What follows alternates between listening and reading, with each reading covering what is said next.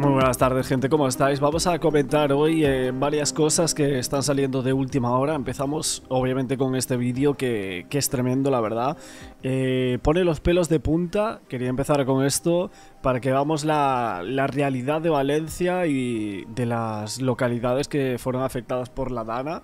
Este vídeo es eh, espectacular, o sea, el pueblo por el pueblo al final es lo que estamos viendo es verdad que mucha gente como que está bastante cabreada por eh, qué pasa al final con las ayudas, de por qué se tarda tanto en, decidirlas al, a ver, ¿no? Esta catástrofe que ha sido, que ha sido brutal, ¿no? Eh, quería hablaros hoy de eh, el señor Lethal Crisis. Lethal Crisis es un youtuber o creador de contenido de aventura, de viajes, etcétera. Ha hecho expediciones a, sitios mm, de los sitios más recónditos del planeta, podemos llegar a, decir. Ha estado en sitios muy muy peligrosos, en viajes bastante complicados que no todo el mundo haría y la verdad es que yo lo admiro muchísimo por mm, vamos, por todo lo que por todo lo que él hace y ahora también está en Valencia. Está en Valencia eh, vamos a ver mm, varios vídeos de él, pero tenemos que hablar de fallecidos. Y es que eh, Lethal Crisis y otras personas, también algunos influencers o personas eh, que viven en esas localidades afectadas, están hablando de que las autoridades no están dando la cifra real de fallecidos, porque decían, no, es que hay 200 eh, fallecidos y 89 eh, eh, desaparecidos, ¿no? Cosa que estamos viendo que en diferentes vídeos no se está actualizando, ¿no? Vamos a ver qué nos cuentan y ahora lo aproximamos todo. Se vieron completamente superadas por el agua, este cauce marcado para el agua, pero que se desbordó por, por completo. Ahora el agua ya está muchísimo más baja y ahí están haciendo las batidas de búsqueda, ¿no? Me comentan que están enfocados, por ejemplo, si ha aparecido un padre, el cuerpo de un padre, que se sabe que iba con el hijo. Ahí mandan la mayoría de unidades, decenas de personas a hacer batidas. O, por ejemplo, encuentran el coche de un desaparecido. Pues lo mismo.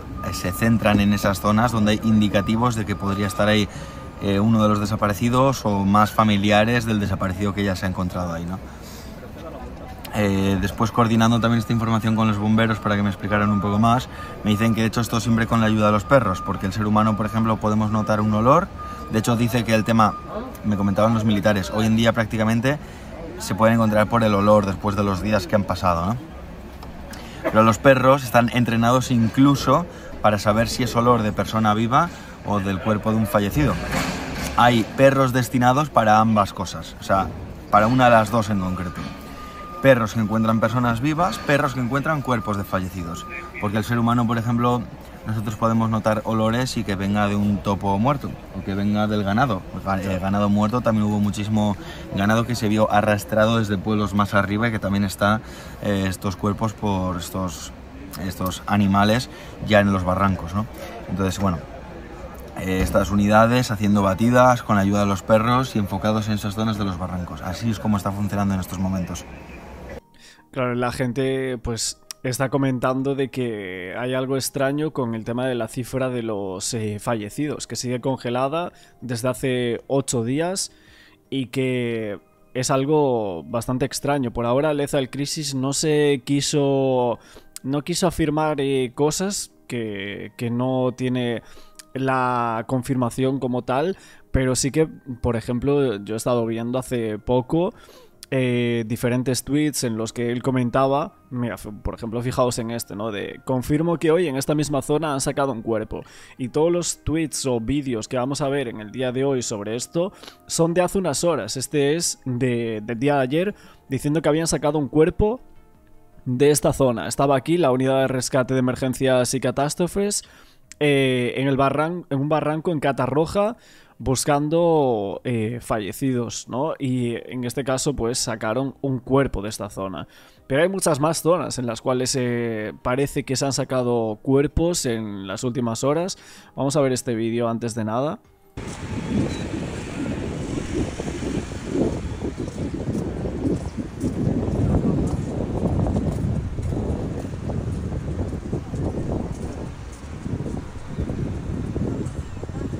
Básicamente él estaba aquí en Catarroja y pudo grabar esta zona y luego, cuando, o sea, después de varias horas, él confirmó aquí en redes sociales que justo en esta zona donde estaban buscando, pues se encontró un cuerpo, ¿no? Em, la gente le preguntaba cuál es el objetivo del tweet o de este vídeo ¿no? que estamos haciendo nosotros. Al final es intentar eh, informar, ¿no? Porque es cierto que no en televisión no está saliendo este tipo de cosas de se encontró un cuerpo aquí o allá. Eh, pero me parece que bastante importante también, ¿no? Porque que no nos engañen con esto. El otro día decía Marlaska, que no sé si era, creo, creo que sí, ¿no? Creo que era el ministro, que le preguntaban sobre los desaparecidos y por qué no se actualizaba la cifra de fallecidos. Y decía que por el momento que era muy complicado y tal, no sé qué. Eh, yo a veces también me, me pregunto si es que a lo mejor mm, no sé, hay cosas como que ya no quieren decir o quieren ir no vamos a, aumentar más el, número, etcétera, para que no se vea aquí una desgracia eh, incluso mayor de lo que ya se ha dicho. Y eso creo que es incluso peor, porque la gente ya está empezando a, tirar bulos, a especular, eh, no sé. Y, creo, que, creo que ha aumentado el dolor de las familias y, sobre todo de, lo que está pasando en Valencia, ¿no? Por ejemplo, aquí lo veíamos, ¿no? En la sexta, lo de los desaparecidos no sabemos si son por la Dana o, y por eso no damos los datos, es tremendo, ¿no? Eh, esa frase te da un, síntoma de, no sé, no sé, de... de preguntarnos el cómo, cómo se está dirigiendo todo esto, ¿no? Desde el inicio. Eh, por aquí Lethal, que hoy nos centramos un poco en él, decía, yo tampoco sé qué ocurre respecto a los fallecidos, es algo que no me termina de quedar claro, y habla a muchos niveles, pero esto sí que no puede ser, no puede ser que tengamos que soportar estas cosas. ¿Qué deben pensar o sentir las familias de los desaparecidos? Claro, yo me pongo en esa tesitura al final, ¿no? Cuando hablamos de este, de este tipo de cosas que, que son muy complicadas y se está dando esta información que o esta frase que dio datos eh, cuando objetivamente no podemos concluir razonablemente que esa cifra es la que es y que son desaparecidos relacionadas con la Dana entonces nos parece muy errado aquí muy errado aquí Marlaska la verdad em, pero a ver es que sinceramente lo de lo de las cifras y todo ese tipo de cosas viene ya precedido del tema del COVID y la gente tampoco olvida mucho, ¿no? Ese tipo de, cosas. Por eso eh, Lezal dice que no sabe qué pasa con respecto a los fallecidos porque no se, está informando de aquí se encontró este cuerpo, aquí se encontró el otro. Eh, ¿Será porque creen que, son fallecidos que no son eh, por la Dana, como dice aquí Marlaska? Hombre, me parece, me parece bastante tremendo eso, ¿eh?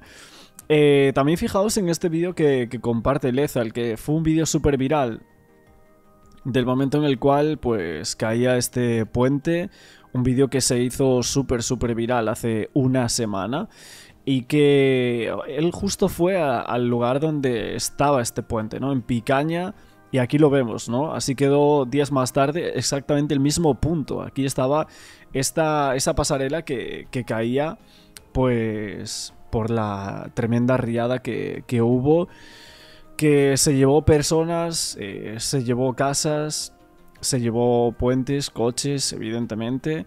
También el trabajo con los coches está siendo, está siendo tremendo, ¿no? Eh, he visto a la mañana que era bastante complicado, eh, muchísimos coches como apilados entre sí y la manera de quitarlo estaba siendo bastante, bastante complicado.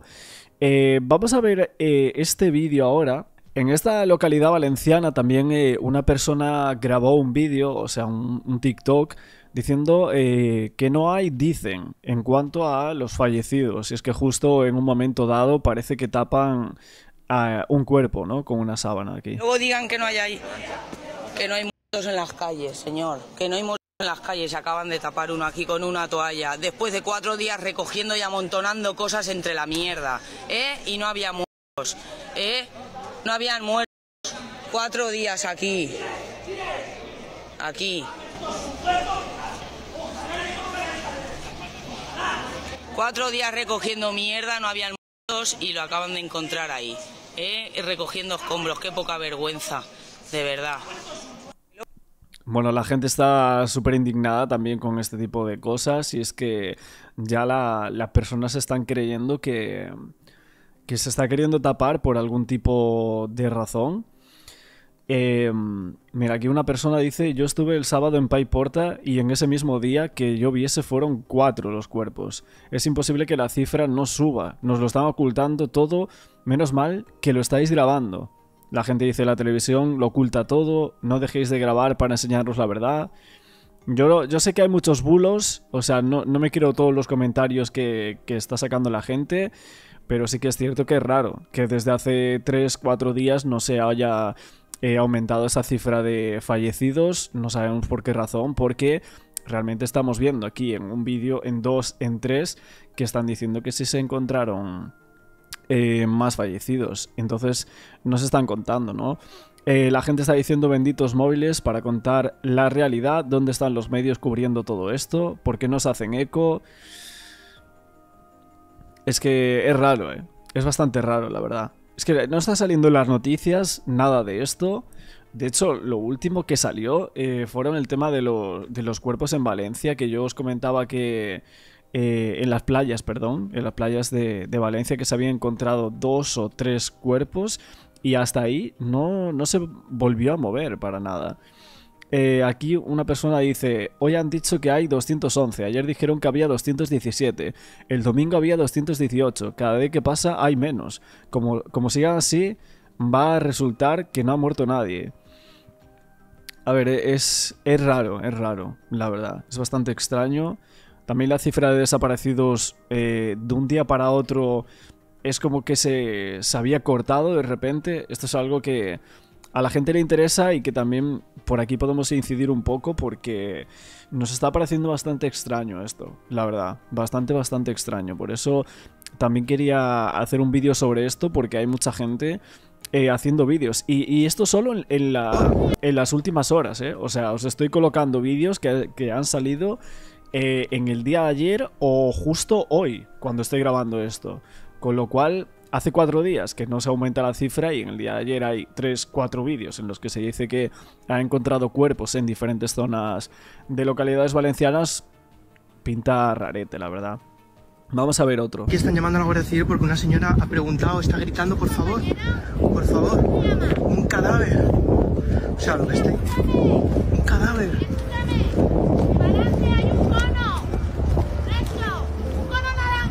Un mono naranja. Adentro, está ahí, Boca para abajo. Dios. Madre mía. Creo que aquí están llamando. Bueno, este es otro vídeo que, que salía eh, hace unas horas. Parece que se siguen encontrando también más cuerpos. Este es de hace nada. O sea, de hoy a la mañana, justo cuando esté grabando este vídeo.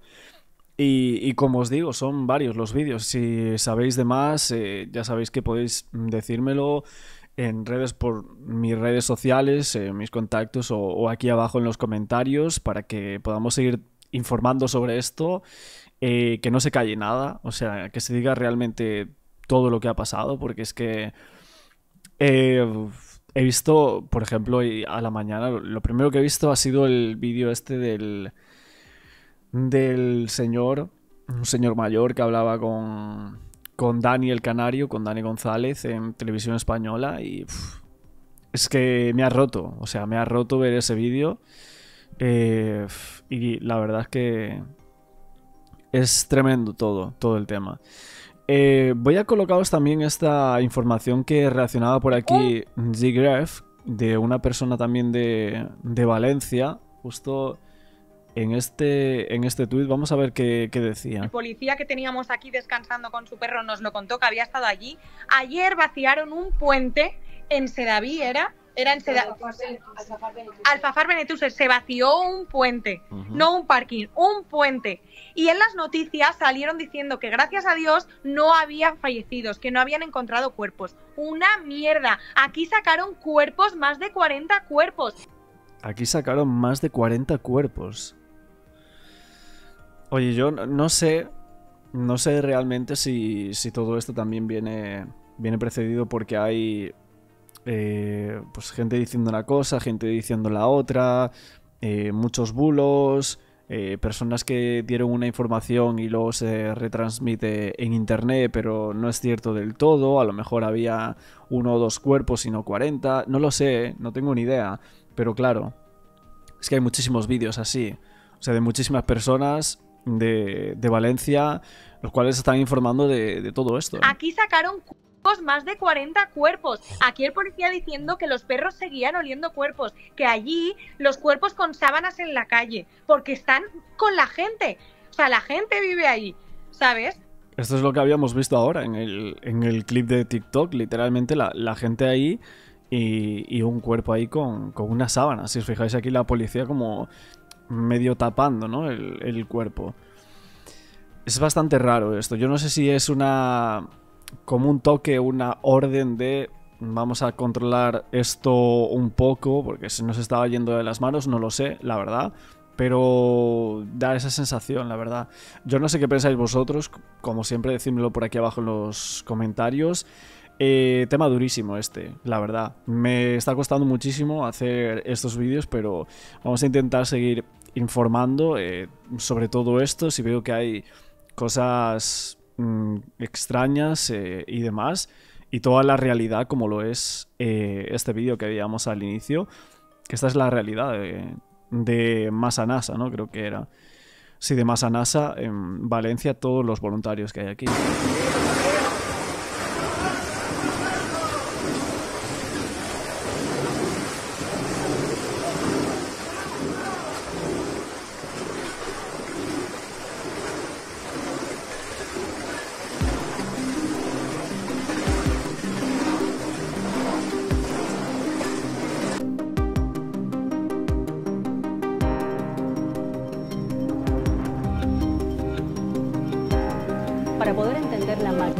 De esta catástrofe, es necesario explicar las lluvias excepcionales que cayeron la tarde del 29 de octubre.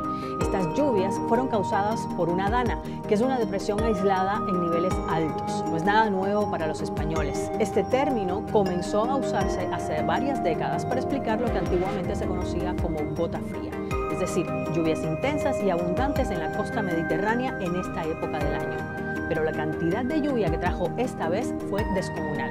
En pocas horas cayeron unos 500 litros de lluvia por metro cuadrado. Eso es el equivalente a la lluvia de todo un año. Y esta enorme cantidad de lluvia provocó que los suelos ya no pudieran absorber más agua y así se generaron inundaciones repentinas que arrasaron con todo a su paso. Mucha gente no pudo ponerse en un sitio seguro y eso fue solo Videos compartidos por las redes sociales mostraron cómo el agua y el barro iba extendiéndose por las calles y veredas, incluso en zonas en las que no había llovido.